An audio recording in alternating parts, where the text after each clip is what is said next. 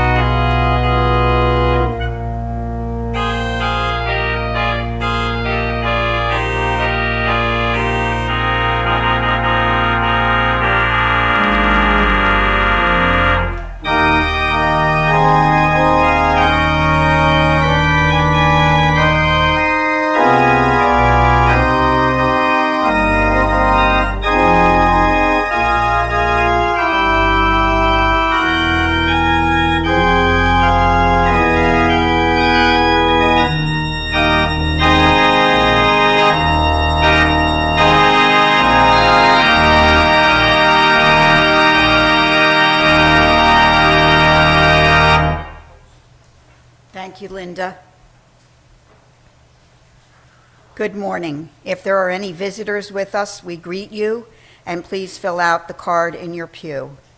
It is a pleasure to see the sun, but we really could use the rain. We put in a new lawn this year, and it's not doing too well, except that maybe our well will not be so well. Uh, yeah.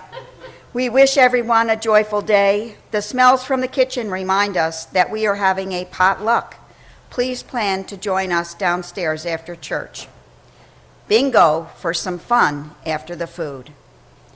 Please join me in our call to worship as found in your bulletin. Come into God's presence with thanksgiving in your hearts.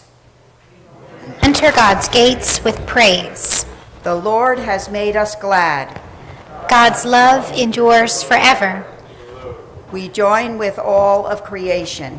To sing a new song. Rejoice, O my soul. Again I say, rejoice. Let us worship God together. Please stand as you are able in body or spirit and sing with us hymn number 420, verses 1, 3, and 5. God of grace and God of glory.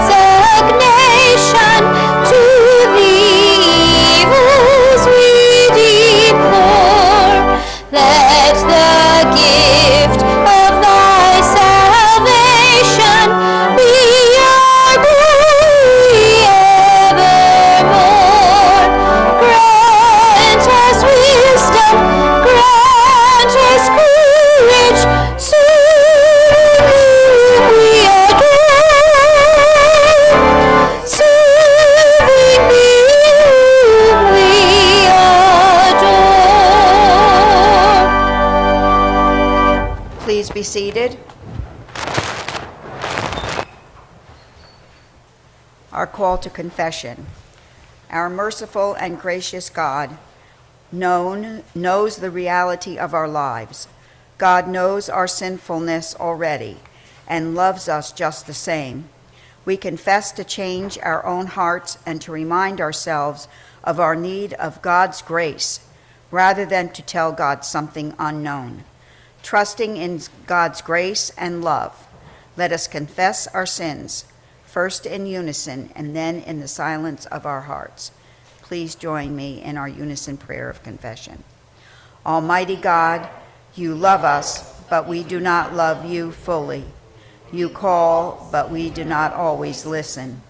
We often walk away from neighbors in need, wrapped in our own concerns. We often condone evil, hatred, warfare, and greed. God of grace, help us to admit our sin, so that as you move toward us in mercy, we may repent, turn to you, and receive forgiveness.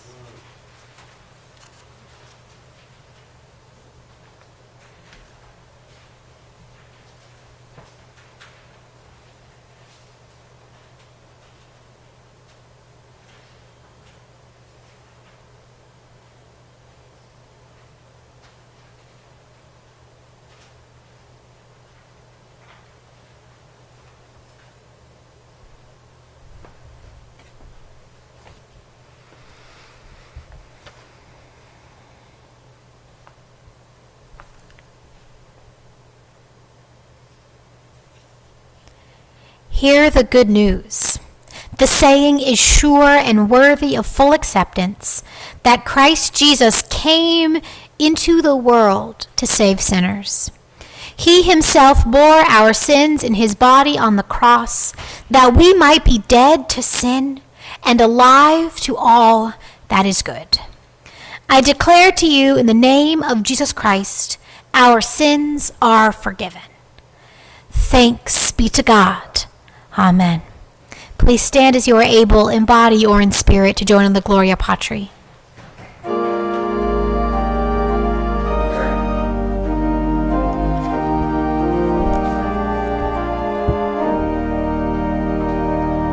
Glory be to the Father and to the Son and to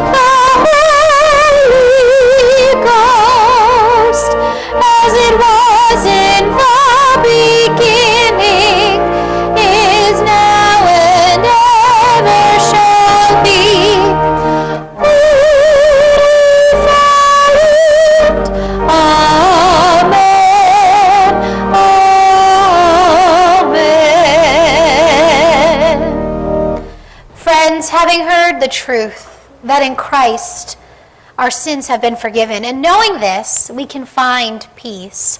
Let us share a sign of Christ's peace with one another. The peace of our Lord Jesus Christ be with you. And also with you. Please greet your neighbors with a sign of Christ's peace.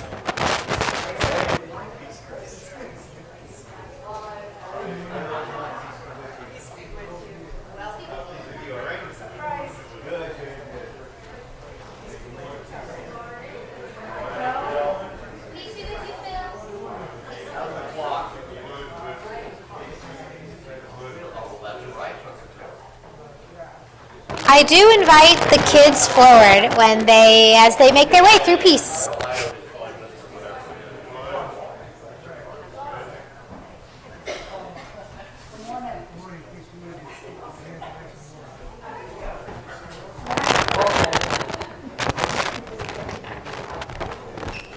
Peace be with you.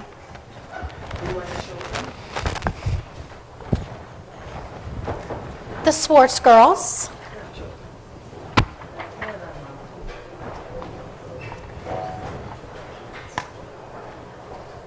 Let's wait for the adults to be seated. I really like your shoes, Avon. Avon has some really nice shoes on today for everyone who's wondering. Okay, so generosity is what the church is focusing on this month. Have you heard generosity before, the word? Yeah. It means being kind and generous. So, what does being generous mean? Is that something you've heard before? Yeah. Do you have any idea what generosity or generous means? Mm-hmm. I heard I heard a phone a friend answer. To be generous means to be willing to give more than it ex- is expected or normally done. I got that from the dictionary. Yeah. There are lots of ways to be generous. I have a story of someone else's generosity from when I was about nine. My family, we were going through a period of really tough financial means. It was a really hard time for us financially. And my mom and my siblings and I were at McDonald's, and we got a small something so that we could play in the play place because it was an indoor play place. It was summer, it's very hot where I'm from. We were playing, and some very kind woman gave my mom $20. And with that $20, we were able to buy formula for my brother, who otherwise we don't know how we could have bought more for him right? So this woman's generosity really impacted our family. It really impacted me, right? So giving above and beyond. We didn't know this woman. We weren't asking for money. She just saw our little family and saw all that we bought at McDonald's and put two and two together and gave my mom some money with which we could then feed my brother, who was an infant at the time. You may have not seen generosity like that in your life. Maybe you have, but maybe not. But you've likely seen generosity in some other ways, right? Like maybe the way someone helped a friend learn something in school. Like when I was in kindergarten, first grade, one of my friends taught me how to tie my shoes, right? Little things like that can also be aspects of generosity, right? So there are so many different ways to be generous. And when we try to follow Jesus Christ, we try to live with generous hearts because Jesus is so generous to the world and to us even today. Jesus' love and generosity for the world is what inspires his followers to also be generous. That's what the Apostle Paul, who wrote lots of letters in the New Testament, says in our scripture reading for today.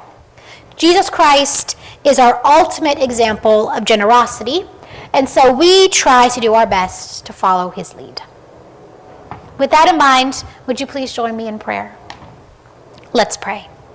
Dear God, we thank you for how generous you are with us.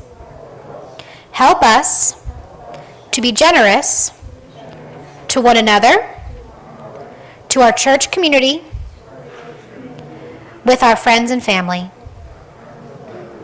May we share your love with this world. In Jesus' name, amen. Thank you for hearing a little bit about generosity. You can go hang out with Marlena now if you'd like. And I'd like to invite the choir forward, please.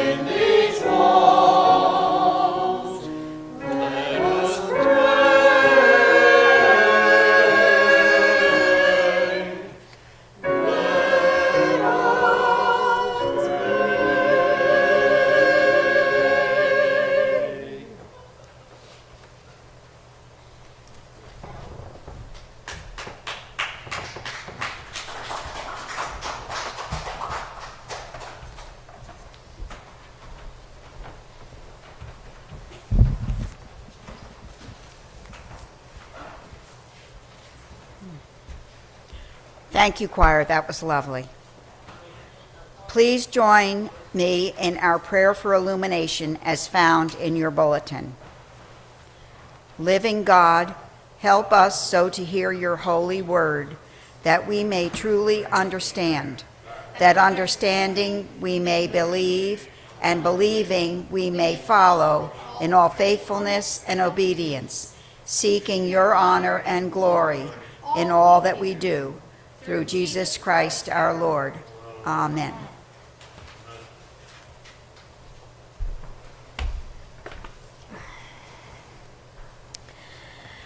Our reading from today is not from the Gospels, so my mistake. One of many typos in today's bulletin, so just roll with the punches with me on that one. Today's reading is from the book of Second Corinthians, chapter 8, verses 8 through 12. This is written by the Apostle Paul to the church in Corinth. So this is in the middle of the chapter. I'll be reading more of the chapter within the sermon itself. But this is how Paul is speaking to the church about giving. That's the point. Giving to the saints. If you read this in the scripture, you'll see the saints. That just means the people, the Christian community in Jerusalem. Your fun Bible fact for the day when Paul writes about the saints. He literally means the Christians in Jerusalem. With that in mind, let us jump on in to the text today. I do not say this as a command, but I am, by mentioning the eagerness of others, testing the genuineness of your love. For you know the generous act of our Lord Jesus Christ, that though he was rich, yet for your sakes he became poor, so that by his poverty you might become rich. And in this matter, I am giving my own opinion. It is beneficial for you who began last year not to do not only to do something, but even to desire to do something. Now finish doing it so that your eagerness may be matched by completing it according to your means. For if the eagerness is there, the gift is acceptable according to what one has, not according to what one does not have. The word of the Lord. Thanks be to God. Please pray with me. God, as we come to this time of preaching of your word proclaimed, may we come together to know and learn the Holy Spirit's guidance for us as we consider generosity and what the year ne- what next year will look like. God, may the words of my mouth and the meditations of all our hearts be pleasing and acceptable to you, O Lord, our rock and our redeemer. Amen. Last week was the first week of our stewardship sermon series, and the focus was on discipleship as stewardship, which, when taken out of church speak, means the way you follow Jesus is by taking good care of what you've been blessed with. Stewardship is to act as a steward. And we don't use that term, steward, very often anymore. In my still somewhat young brain, the last time a version of steward was still used regularly, regularly, was stewardess. And of course, the, these were the women who helped the passengers on airplanes. And since that profession is no longer just women, they're now called flight attendants. It's in this shift of language from stewardess to flight attendant that we can see a glimpse of what stewardship means, right? It means to attend to something, to focus on something, to care for something. In the church, we think about stewardship more than any other organization or company because we're not a pay to play type organization right? Think of Netflix, the gym, your cable and internet company, property taxes, hotels, camping facilities, golfing ranges, skiing slopes, your cell phone provider. The list can go on and on, right? Of places and things you have to pay to receive what is being offered to you. And the church isn't like that. We don't give you a bill that you must pay to come to worship or fellowship or like our special activity today, a potluck. We're also not a pay as you go type situation, like think the grocery store or the gas station or Walmart, right? All the money that we take in is a free will offering, an offering from the heart. You could come to church for decades and not donate a cent, and you would still be welcome to worship in the community, to worship our Lord and Savior. I mean, this isn't always the case, right? And we didn't take this generosity just from our own heads. Because for a while, for a long time in the church, actually, the way the church made its income was not from a free will donation, but was by pew rental. As a fun fact, your pew was your pew because you paid money for said pew, and that was how the church got its income. Like the little numbers on the pews, you see those? Some churches it was names, and that was your family pew because you paid a certain amount for that pew. And that was your income. That was the church's income. That's how they ran. It wasn't an offering like we give today. So we get this action of not demanding a certain amount of money from each member or worshiper from Paul. Our reading today outlines this, though maybe not at first listen, you might it might be kind of harder to understand. And so the book that I'm using in this series, God and Your Stuff, talks about our passage from Second Corinthians today as a passage focused on giving according to your means. Let's listen to what Wellesley Willmer says. Quote In 2 Corinthians 8 8 through 12, Paul tries to inspire the Corinthian believers into giving generously, as the Macedonians had already done. Perhaps the first thing to notice in this passage is that Paul does not resort to asking for a tithe. This would be the perfect time for him to say, By the way, now that you all are Christians, you need to start tithing like it says in the Old Testament. He recognizes that giving is not something that can be prescribed by rules. What he does is to assume some common points of Christian experience. If the Corinthians' lives have truly changed and they are devoted to following the Lord Jesus Christ, then they will have an eagerness to give their money and possessions for the good of the church.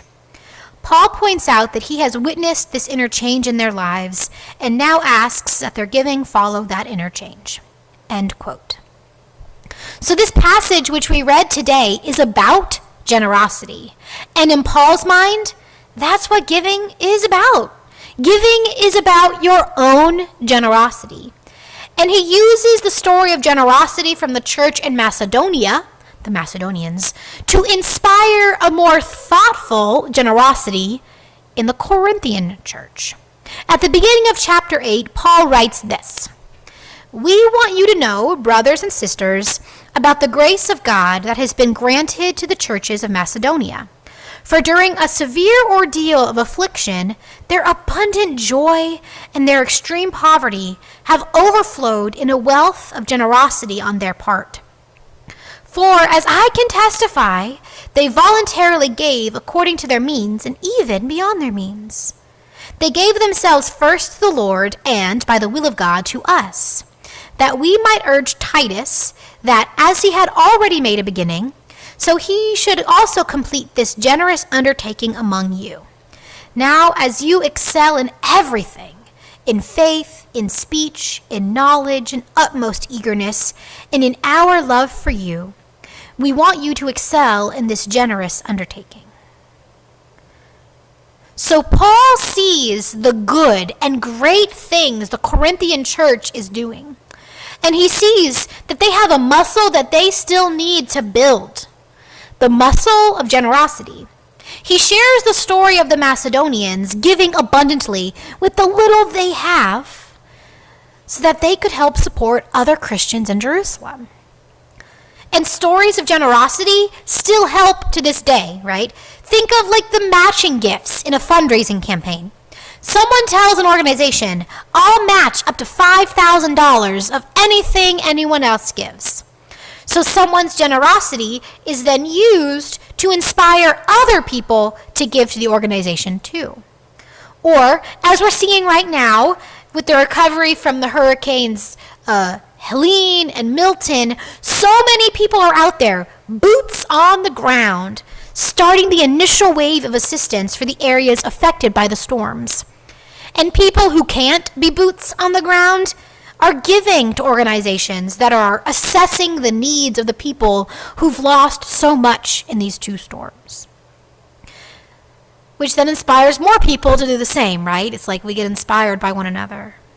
And when we think more broadly, we can think of the support the support that areas rife with warfare receive from other countries and from individuals. Stories of suffering and generosity inspire other people to give supplies or money or their own time. I know I'm often at least marginally inspired to give because I know other people are giving. That's not my sole inspiration for giving to an organization. I always want to make I always take time and care to make sure that I'm in alignment with other goals and functions around that organization I'm giving to.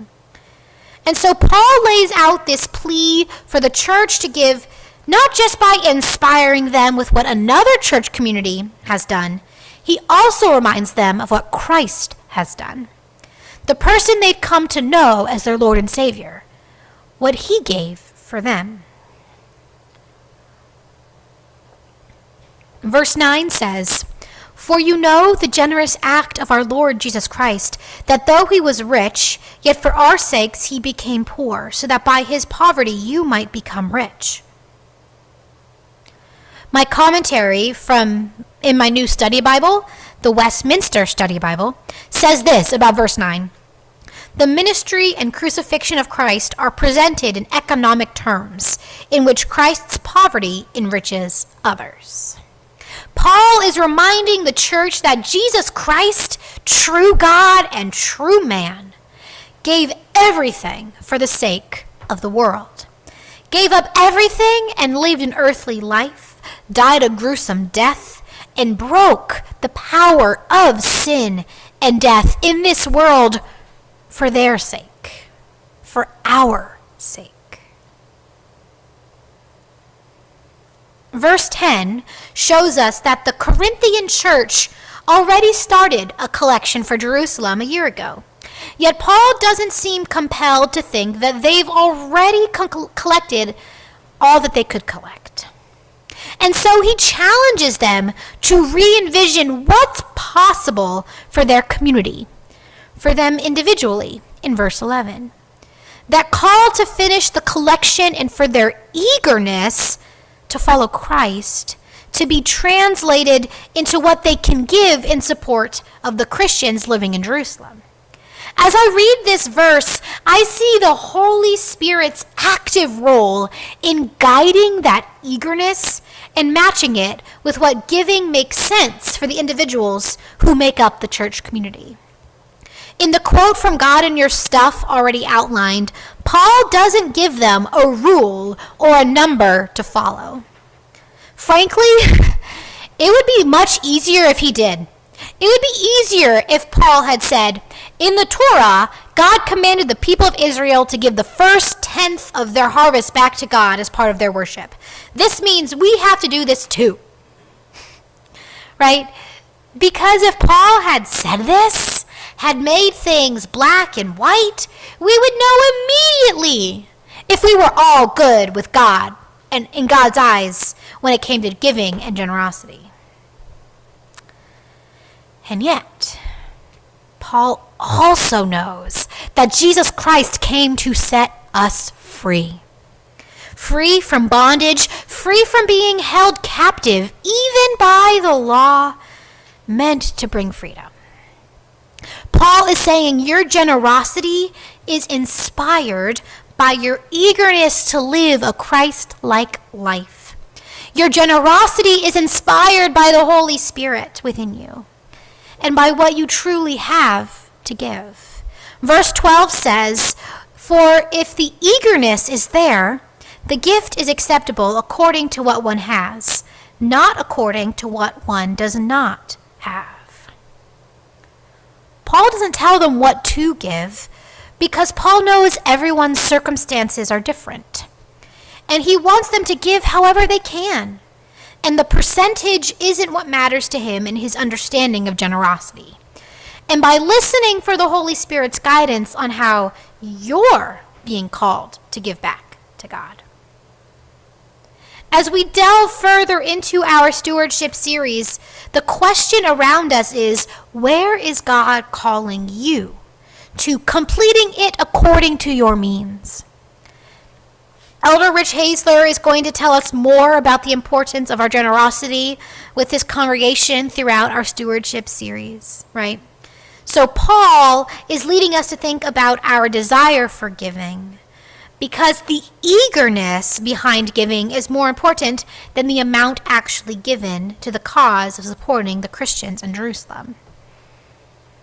Which means for us that our eagerness, our emotions towards giving are just as important as what we pledge to give or what we truly give. As I mentioned at the beginning of my sermon, right, we aren't a pay to play or pay as you go place. Instead, we're a congregation that works together to try and shine Jesus' light into the world. We're united by Christ and we share our offerings, our talents, and our time to bolster this congregation in this community. And as you consider your pledge for the 2025 year, consider how you're feeling when you make that pledge. Are you feeling glad at the chance to support the congregation financially? If not, what's causing your hesitation to give? Is the Holy Spirit directing you to, to give in a different way? Could your eagerness in giving be more focused on doing something for the church, like being a liturgist, hosting the Zoom meeting, teaching Sunday school, taking charge of the weeding around the church property? The list of ways you can give back to the congregation as part of your stewardship goes well beyond the money that you're considering giving next year. That's why you receive two pledge cards, right? The one for monetary resources and the one to help in the leadership and facilitation of the congregation. So, friends, prayerfully consider where your eagerness lies as you consider Paul's explanation on the importance and reasoning for giving. Amen.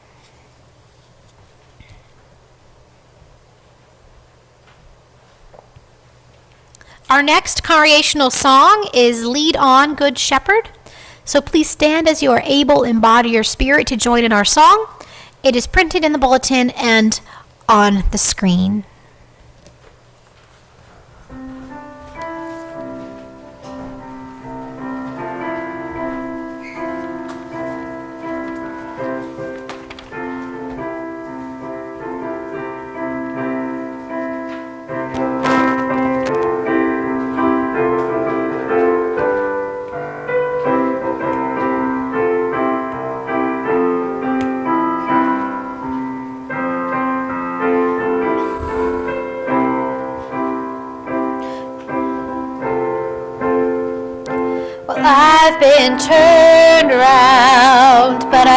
Been lost. Seen the water get troubled, but we walked across.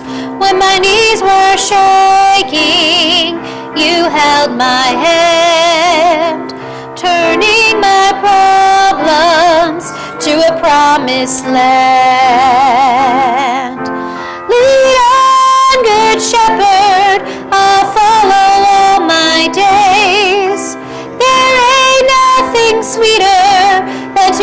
you make a way. You've walked me through the valley, but you never steered me wrong. Lead on, Good Shepherd, lead on. Seen some mighty deep canyons that you brought me through. Seen some mighty big mountains that just up and moved. Glory, glory, hallelujah. yeah, that's my song. Walking with my Father into the great unknown. Lead on, Good Shepherd, I'll follow all my days.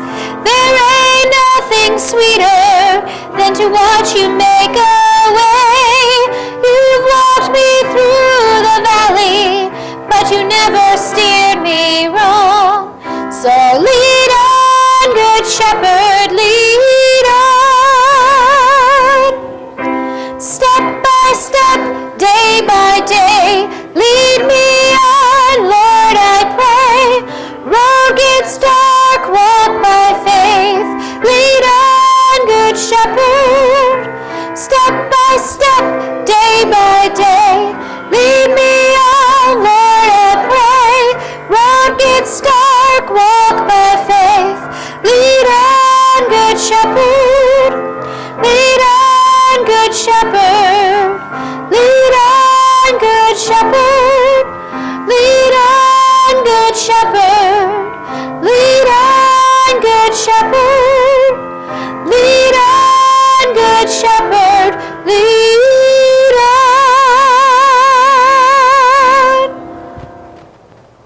Please remain standing and join me in our affirmation of faith, the Apostles' Creed, as found in your bulletin.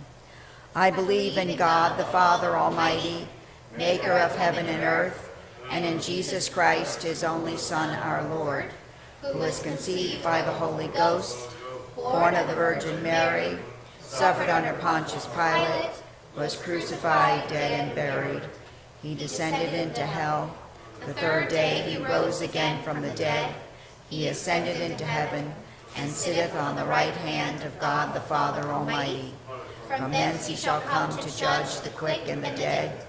I believe in the Holy Ghost, the Holy Catholic Church, the communion of saints, the forgiveness of sins, the resurrection of the body, and the life everlasting. Amen. Please be seated. At this time, we will share our joys and concerns, and after each one, please repeat, God of mercy, hear our prayer. Is there anyone here in the congregation? Bill? I ask for prayers for Mike Costco, who's uh, enduring uh, severe back problems. God of mercy, hear our prayer. Donna?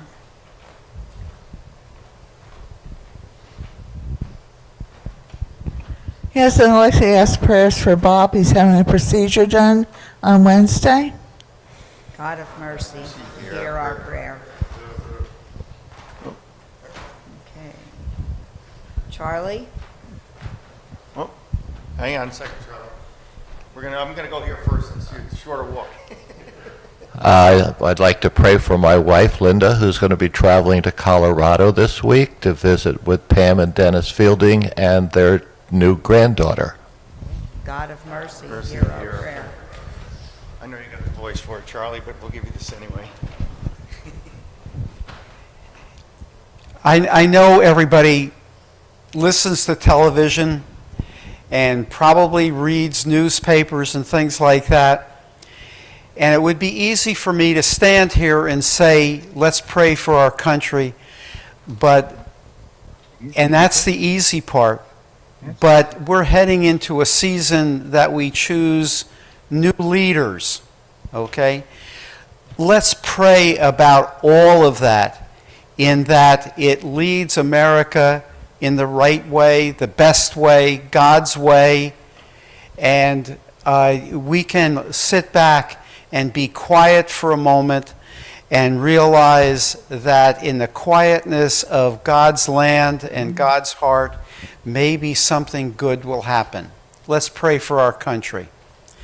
God of mercy, hear our prayer. So, We'll check on Zoom, see if anyone... Hang on, let's see. Uh, possibly Betty, but we'll see here. Oh, we're on computer audio? Yep. Go ahead, Betty. I just want to was it Charlie who just spoke about our country? I want to double that, triple that. Oh gosh, yes, please. God of mercy, hear our prayer. I see I see Walt's on this week, so Walt, it's great to see you. the church. Hi, Walt. I'll uh, ask for. I was going to say I'll uh, also ask for travel mercies as I head to Scotland. So for uh, ten days, looking forward to it. God of mercy, hear our prayer. The land that was the birth of golf. with these in mind, with the joys and the sorrows and the worries being shared, let us turn our hearts to prayer. Good and gracious God, thank you for the many blessings and gifts you have given us, especially the gift of grace in Jesus Christ. Forgive us when we hoard what you have given us because we are worried we won't have enough. Help us trust in your promise of eternal life here and now, that we may live obedient, joyful, and faithful lives as your children in your kingdom. Heavenly Father, we are grateful that Jesus looks at us in love as he calls us to follow him. Give us the courage to heed his call and to go where he leads us. Help us embrace the new life he offers, where the last shall be first, and the greatest will be servant of all, even as Christ came to serve us in love. Almighty God, in a world where there is great need, free us from our attachment to the many things that occu- occupy us and demand our various loyalties. Give us grateful hearts and willing spirits so that our lives and actions reflect the self giving love of your, our Savior, Jesus Christ. May we trust Jesus, who is the way, the truth, and the life, enough to follow him in your kingdom. God, we pray for our country, especially as we look towards the election day and the following times.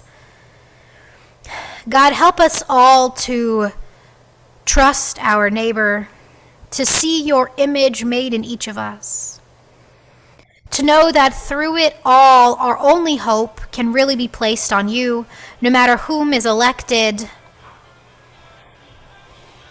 God, may we trust in you and your plan, and help us to live our lives as Christ like as we can, regardless of who is elected to lead our country.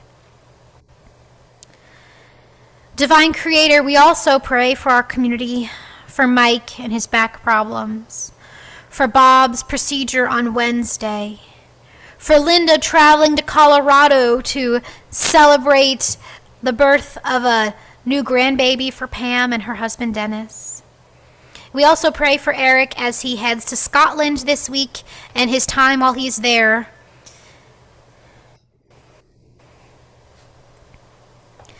God, we offer these and all of our prayers, spoken and unspoken, in the name of Jesus Christ, our Savior, who taught us to pray. Our Father, who art in heaven, hallowed be thy name.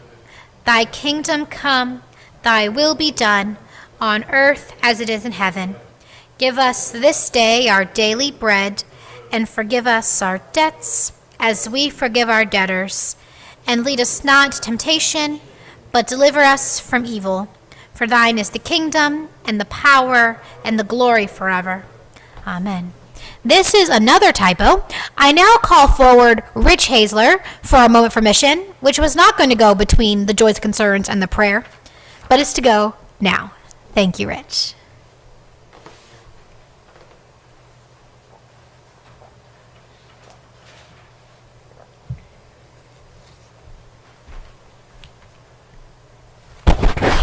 Good morning. This is going to be short, uh, but I just wanted, to, first of all, thank you for uh, the money that you contributed to the Peace and Global Witness offering. We'll have the figure for that next week.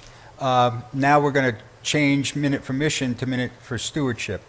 This week, you're going to be receiving in the mail your your giving as uh, of September 30th, and there'll also be a letter from me kind of outlining the next two weeks that uh, I'll be talking about uh, stewardship and kind of give you the, uh, the nuts and bolts of uh, where we stand as a congregation with our, our giving and, uh, and our future here at the Presbyterian Church in Sussex County.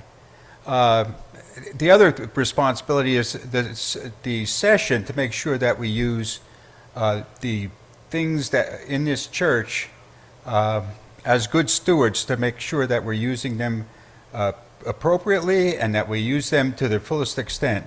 You can take a look at that candle. That candle was there when I, I think we joined in 1978. No, but seriously, uh, as an, as an elder in the church, we, we do value your contributions to the church, and we do uh, use them to the best way possible. So I urge you to um, read the letters that you're getting du- during the next uh, two weeks, and also ask questions at, at our meeting, meeting here at worship next Sunday and the following Sunday. Thank you.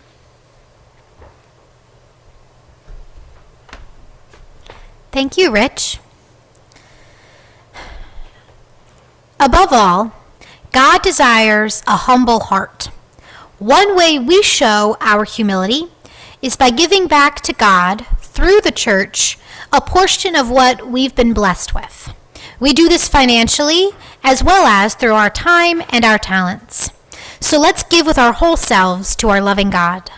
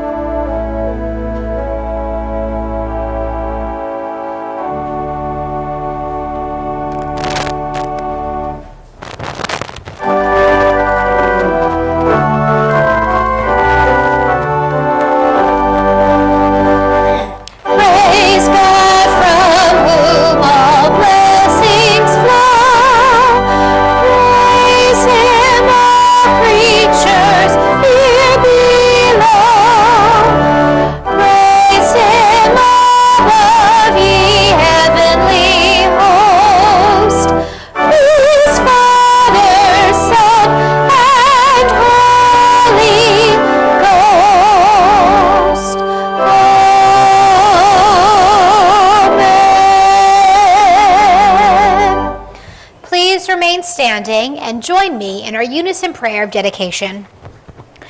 Use the gifts we give you in worship today, O God, and in our lives as a whole, to strengthen our commitment to you and your plan for this world.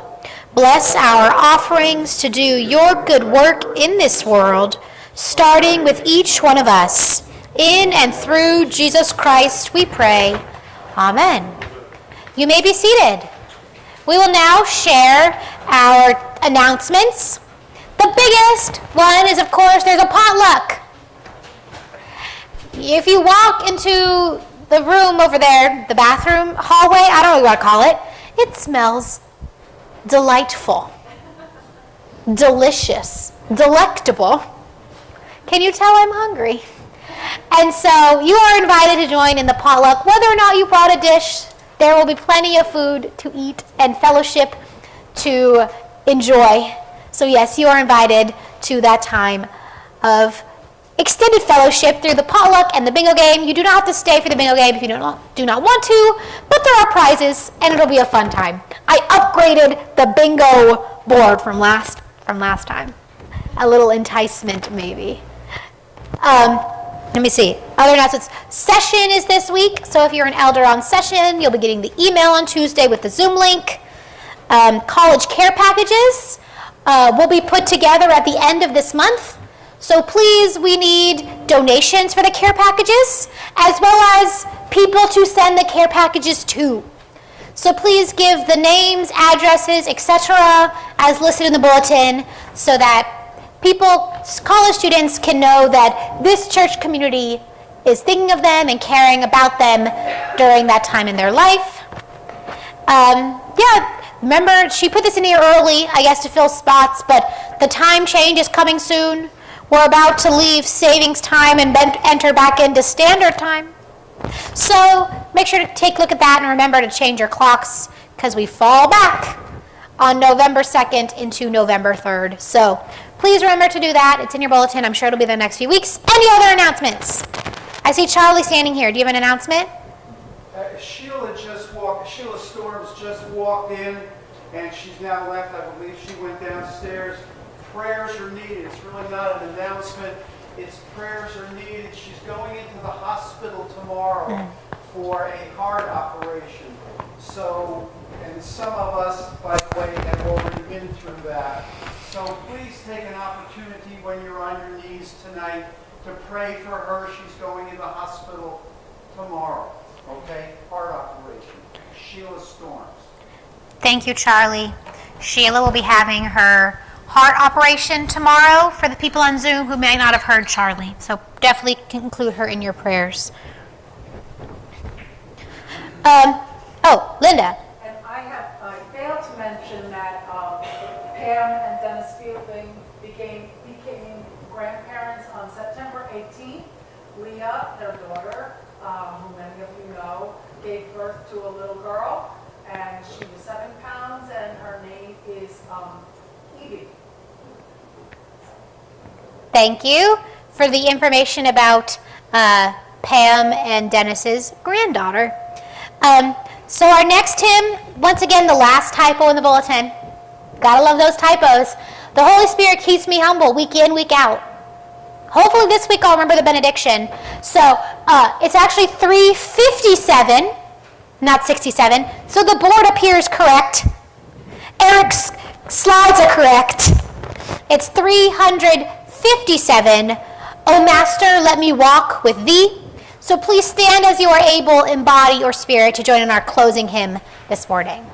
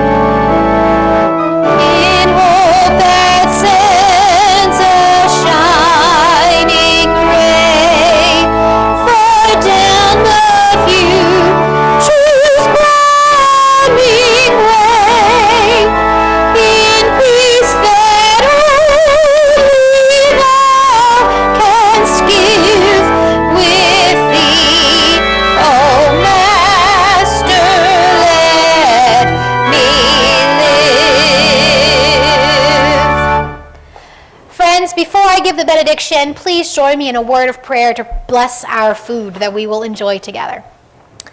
God, we thank you that so many hands have come together to prepare this meal for us this day. May your spirit connect us as we eat and play. In your name we pray. Amen. So, friends, go out into the world to recognize the calling of generosity the Holy Spirit has placed upon your hearts. And may the grace of our Lord Jesus Christ, the love of God, and the fellowship of the Holy Spirit be with you now and forever. Amen.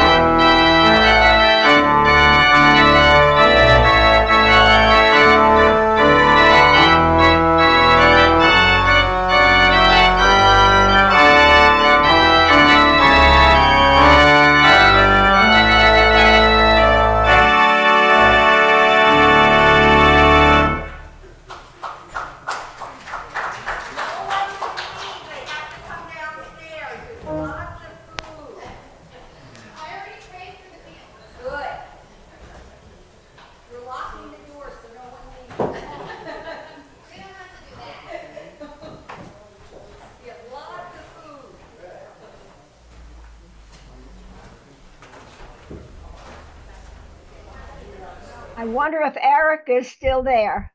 I'm still here. Oh, Eric, I was, we were questioning whether the, our pictures are still on the wall or is that not there anymore? Oh, I didn't, they're not up on the wall anymore, but I can change that if you like. I mean, have they been up on the wall during service? No, I don't usually put them up during the whole service, just during the joys and concerns. Oh, that's okay. I see Betty, Betty and I didn't know for sure. Yeah, I usually don't um, put them up during, That's just as wise. Yeah. Rather than have people be distracted, you know, with when movement around, sometimes we do. But, but having them on for the joys and concerns is a very good idea. yeah, yeah, for sure. People there. Sometimes people forget we're there at all. No, I get it. Have a wonderful time. I wish I was. Um, I've never been to Scotland. It's too Oh, no. Okay, well, Love to hear those people talk. I just love it. it's my second trip, so I'm looking forward to it.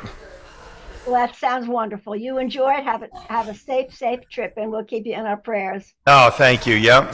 Hey, Walt, how are you? Pretty good. I've never been to Scotland, but I've seen it.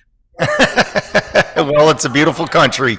It's going to be, it's very green. Border. I was right across the border in England. I could see it from where I was, but Yeah. been- How Well- are you feeling, Walter? Uh, still not in the hospital. Oh, Are you Rich. at the hospital now? Nope, I'm at home and Oh, I've been okay, in I the can't hospital tell, more yeah. than a month. So I'm pretty pleased. Well, I'm glad that things are going well. Hi, hi, Rich. Hi, how- how's everybody doing? So far, so good. Good, good, great to see you. And Walter, good, to- great to see you. How, how are you? Well, oh, the house is sold. Oh, congratulations. I guess that's, that's a good feeling. now I can pay for Paula. Oh, good. That's great. Hey, Walter. Hey, kid, how you doing? Okay, good to see you. Yep, good to be here. Good to be Good to be seen, right? Anywhere. I tell you, I was a little concerned there for a while. We all were. Yeah. But we're glad to see you. I'm More glad all- concerned than.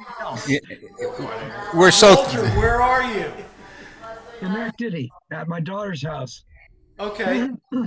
I was in Utica two weeks ago. I went right through um, uh, Schenectady. Okay. It's a nice Yeah. little town. I miss Sussex.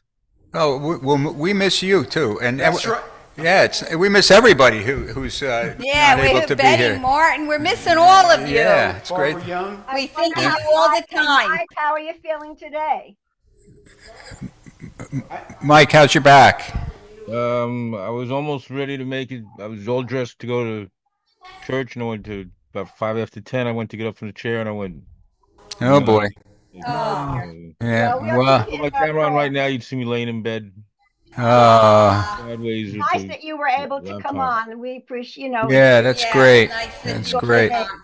I saw Karen at physical therapy. May, maybe you oh, could yeah, come. she was saying that. Yeah. Yeah, maybe you can come join her. Well, uh, we talk about that. I went to the uh, neurologist this weekend and on Tuesday, and I said, you know, she's gonna see me. She's gonna go, well, you know, you got to go back to the hospital and all this stuff.